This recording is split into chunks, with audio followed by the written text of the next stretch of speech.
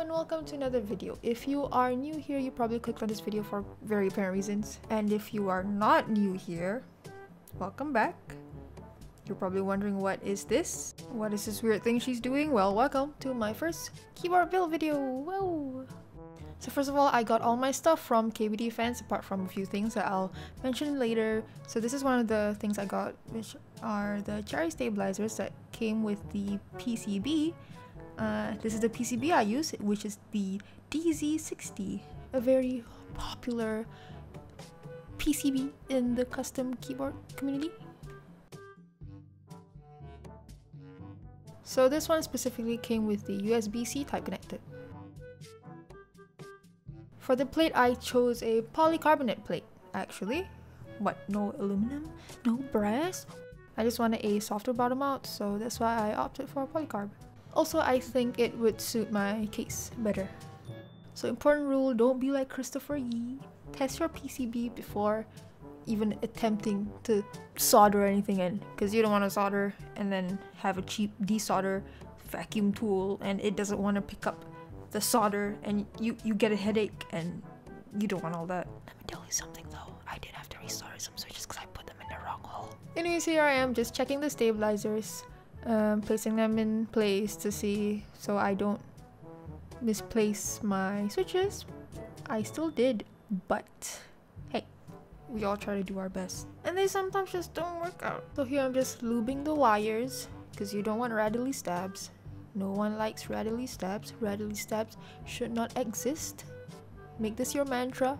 Rattly stabs should not exist. The fun part. The switches. Which could also be partly why you clicked on this video. Because I am using Gateron Milky Black Tops. After binging hours and hours of keyboard videos, I've always wanted myself a set of Gateron inks but they're too expensive, especially converted into my currency. So this is, I don't know, I guess they were like the next best thing because I'm looking for that nice stock that isn't so expensive. And yeah, actually, they came out pretty good. So I opened up each of them using a screwdriver because I obviously do not have one of those fancy aluminum switch openers. And I'm using the cult favorite, I mean the community favorite, Krytox 205 Grade Zero. I was gonna use Super Lube, but angels just came to me and handed this to me and I was like, thank you. So here I am attempting to lube my first switch. Don't ask me how to do it, there are a ton of lubing tutorial videos on YouTube that help me personally and eh, I don't know, maybe I'll link some in the description. Once I lubed all 68 switches from the layout I was going for, I snapped them all in place onto the plate uh, and into the PCB. Look at this, so pretty. I'm just gonna jump into soldering in the next clip, so I'll tell you a little story. Once upon a time, I had $200 in my bank account, converted into my currency, and now I don't. That's it. Warning, always solder in a well ventilated area. You don't want all those fumes to be inhaled. I had my window open, but truth be told, I was inhaling a little bit, which is not healthy, especially being genetically high risk. But what's one board gonna do, huh? Everything. Everything. Nope. Do as you're told, not as I do. So this is the case. I got this off of Shopee, which is a one of those Chinese websites that is actually widely used locally in my country. And it costed me like, what, $10? Converted, it was 40 ringgit, which is so cheap, honestly. In my country, we say, murah gila. That means that's ridiculously cheap.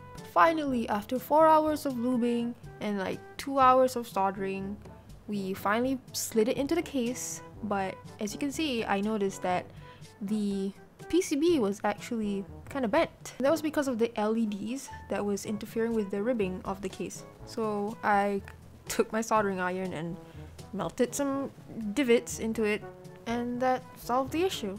I think the clear polycarb plate and the clear case looks pretty nice together. Now for the keycaps. Now don't bash me because I didn't get any GMK, no. I just got these cheap DSA keycaps off of KBD Fans because it was the one that was accessible. And I don't have the means of spending $100 on a keycap set that would probably arrive in 6 months, so yeah. Finally, here's how it sounds.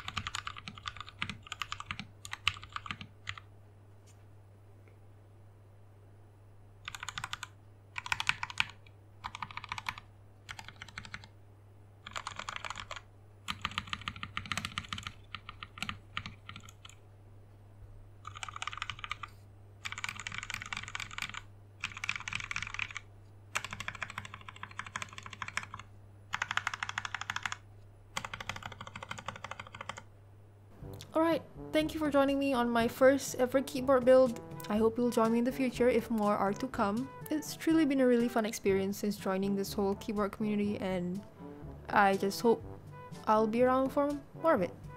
Thanks for watching. Subscribe if you want and yeah. See ya!